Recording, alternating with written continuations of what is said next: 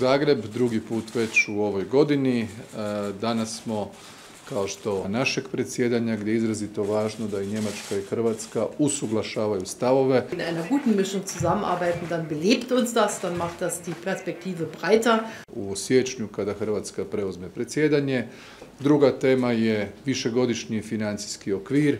Tako važan dosije za neku članicu bude predmet odlučivanja na vijeću baš kad ta članica predsjedava. An, dass wir sehr eng Kontakt halten, gerade in diesem Jahr, denn im nächsten Jahr haben wir zwei aufeinander. Wir haben dabei auch die gleichen Prioritäten, was die Aufgaben angeht, einmal den... Äh u Schengen čeka se politička odluka i vi ste, uh, gospodine Plenković, rekli da nije realno da ona bude... Gut entwickelt, es ist ein kleiner Staat, ein junger Staat.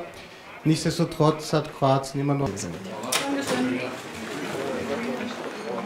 Marko, kad ćemo štrajk?